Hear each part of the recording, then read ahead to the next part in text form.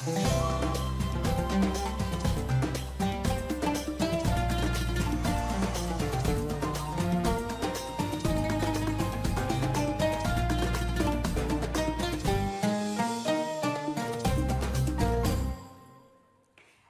عليكم ورحمة الله وبركاته. صباحكم الله بالخير مشاهدينا ومستمعينا. نلتقي بكم من جديد. في أجواء الصباح رباح اللي تشارككم نشارككم فيها في هذه الفترة الصباحية. نشارككم في سعي هني وهناك وتعزيز التواصل مع المحيطين آه، بنا وبكم وأخذ كل ما هو مفيد وفيه بصمة فرد أو مجتمع أو مؤسسات من نشاطات وفعاليات وأحداث في قطرنا الحبيبة ويا هلا بكم. صبحكم الله بكل خير وصحة وسعادة مشاهدي صباح رباح ومستمعينا عبر الأثير. يتجدد لقائنا الصباحي معاكم ومع مناديبنا اللي صاروا جاهزين في محطاتهم الصباحية. معنا اليوم مع عبد الرحمن المري من مركز قطر للمؤتمرات يتابع اليوم الثاني لمعرض قطر الدولي للجامعات.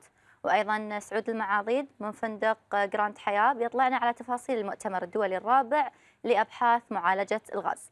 وبنتعرف مع الزميلة ليلى الملا على مفهوم الخدمة المجتمعية اللي قدمها فندق شرق ومنتجع فريق فندق ومنتجع فريج شرق عبر برنامج النجاح من خلال الخدمة.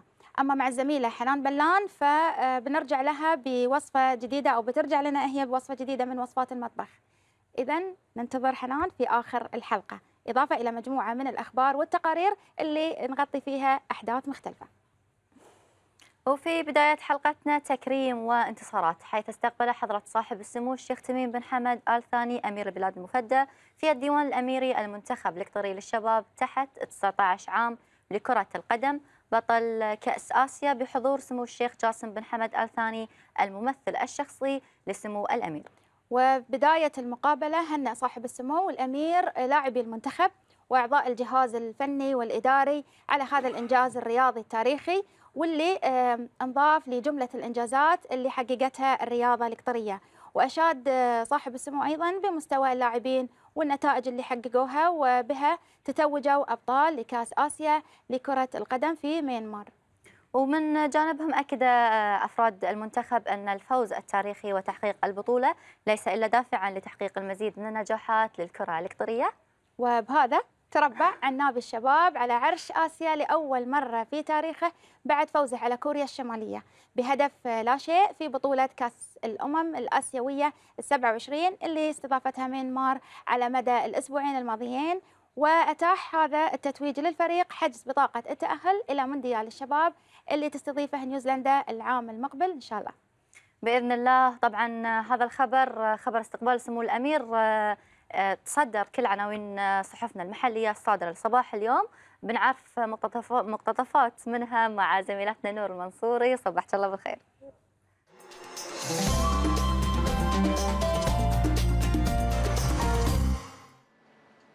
صبحت الله بالخير يا خلود. وصبحت الله بالخير يا حصة. وصبحكم الله بالنور والسرور مشاهدينا ومستمعينا في كل مكان.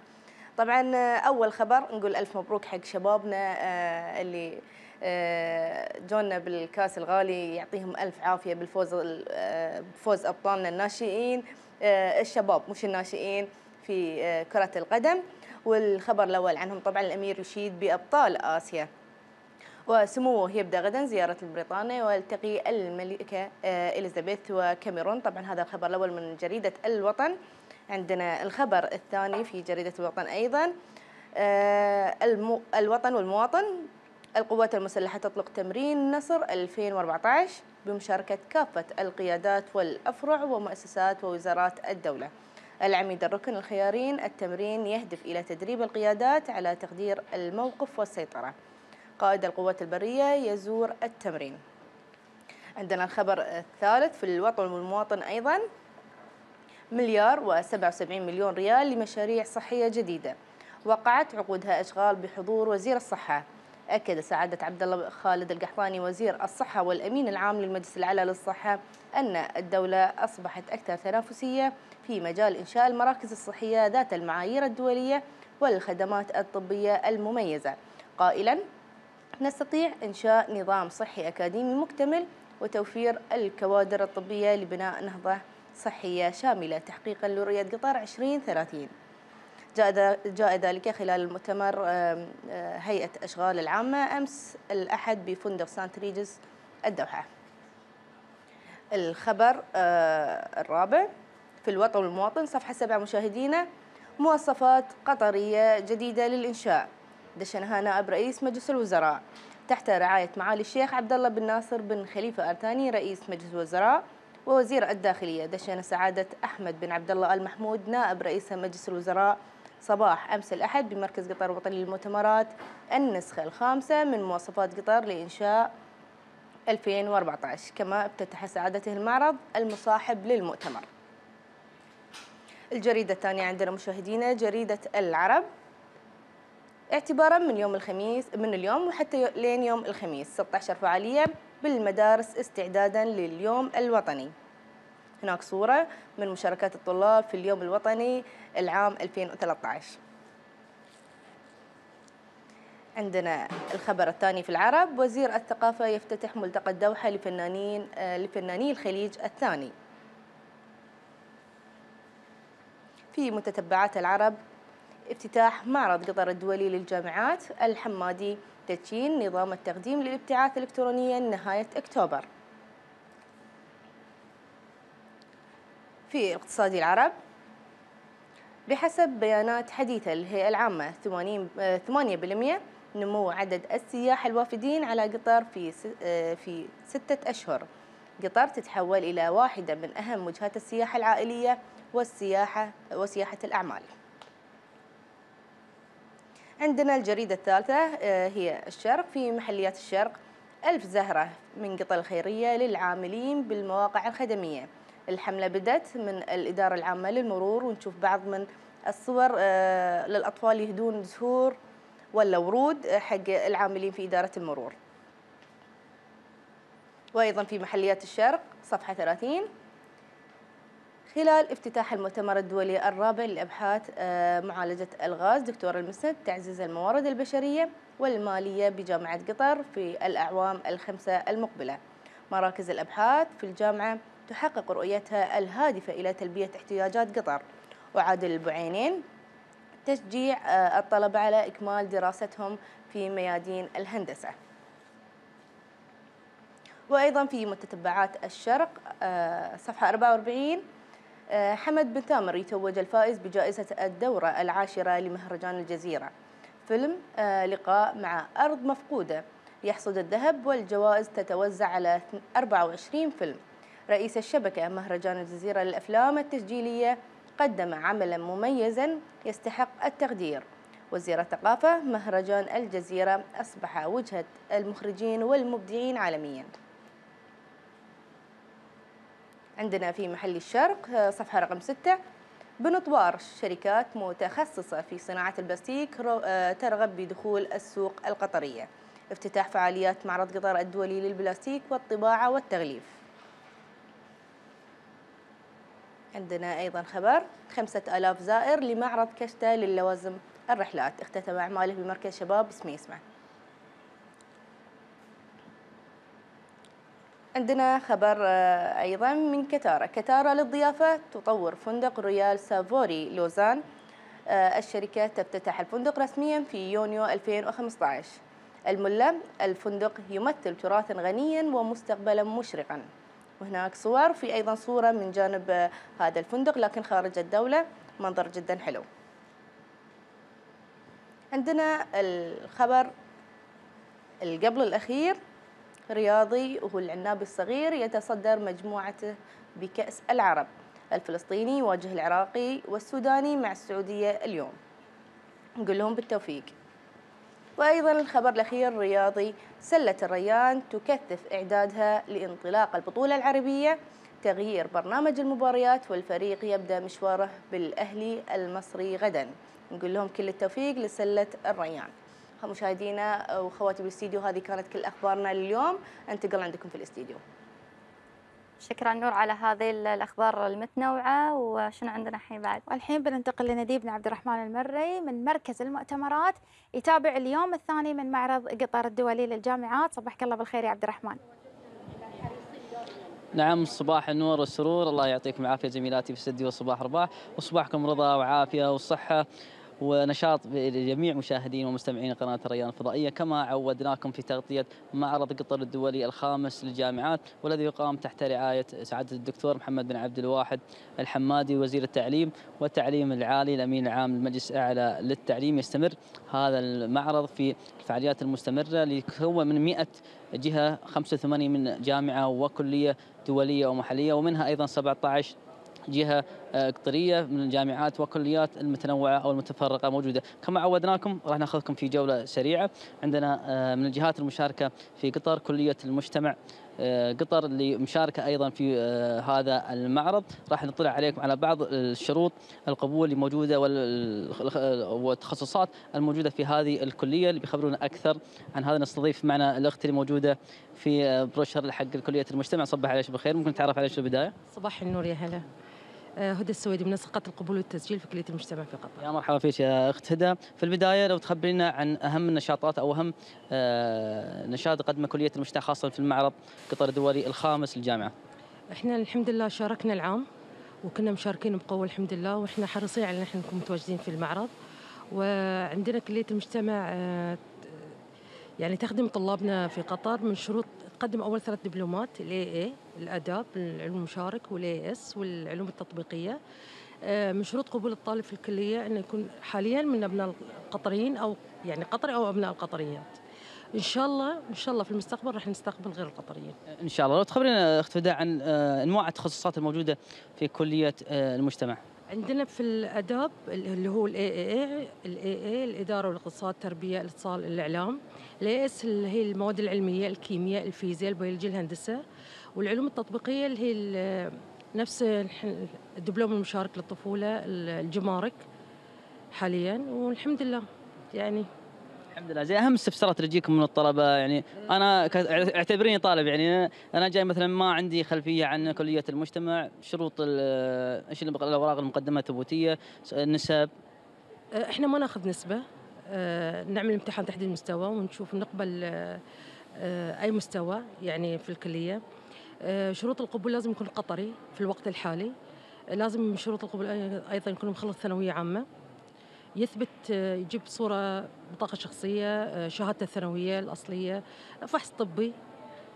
بس. يعني أشياء بسيطة طب آه، نعم لو تخبرين بعد عن أغلب الطلبة يستفسرون عن تخصصات أو مجالهم أكثر الناس أو أكثر الطلبة يدخلون تخصصات معينة أو بما يحتاج أيضا مع سوق العمل القطري. أي أكثر شيء يحب إدارة الأعمال الحاسب الآلي الإعلام هي أكثر تخصصات يعني الطالب آه، يسعى لها طيب إيش المميزات اللي يعني يتميز تميز فيها كلية المجتمع عن باقي عن غير كليات والجامعات الأخرى؟ نحن ما نشترط نسبة معينة في الثانوية العامة نقبل آه، أي عمر عندنا الفترة المسائية وهي جدا مهمة للموظفين يعني لو تخبرينا بس الفترة الصباحية والمسائية من الساعة كم كم؟ المسائية الصباحية عندنا الفترة من الساعة 7 7 ونص تقريبا للساعة 2 والمسائية من 4 ل 10 طيب إيش ال- يعني أو آه، التسجيل مفتوح آه، لحد متى؟ هل في يعني نفس الجامعات سواء في فترة الصيف والخريف؟ و... عندنا عندنا ف... عندنا الربيع وعندنا خريف وعندنا أيام معينة للتسجيل وبس بالنسبة للامتحان تحديد المستوى يقدر الطالب يدخل على أونلاين يسجل آه، يعني يحدد في ال calendar متى يستطيع إنه يجي صباحي مسائي يقدم الامتحان هاي مفتوح طول السنة هو اختبار تحديد مستوى ولا اختبار قبول؟ لأن في بعض المرات يعني لبس على الموضوع على الطلاب أو بعض الناس يقول لا في اختبار قبول أنا ما راح أدخل بس. نحدد المستوى. لا بس نحدد المستوى. إحنا عندنا من level 1 level 6 بالنسبة شلون شفت الاقبال في المعرض هذا؟ بالنسبة للكلية. اي كثير. كثير. كثير. الحمد لله. بالنسبة للعام والسنة الحمد لله. التخصصات الأدبية أكثر شيء. اي زين آخر رسالة الحين تحب توجهها لكل طلابنا الحين سواء حتى الأولياء الأمور اللي ممكن يشاهدون أو حتى آه، الطلاب سواء آه، داخل وخارج اللي ممكن حتى يدخل في كليه المجتمع مما يقدمون تسهيلات. وأيضا في شيء مميز إن الفترة المسائية موجودة من الساعة 4 رسالة تحبين توجهها آه، لكل من يشاهدنا؟ أقول إحنا موجودين وفي خدمتكم حياكم الله في أي وقت. وإحنا سعيدين إن إحنا نخرج من عندنا طلاب. و... وما نسد بابنا في وجه أي حد يعني. حياكم الله. كل الشكر للأخت هدى السويدي منسقة آه، منسقة شؤون الطلاب وقبول في كلية المجتمع قطر. الله يعطيكم العافية. أيضا هذا طبعا اللي موجود عندنا في كلية المجتمع آه، قطر.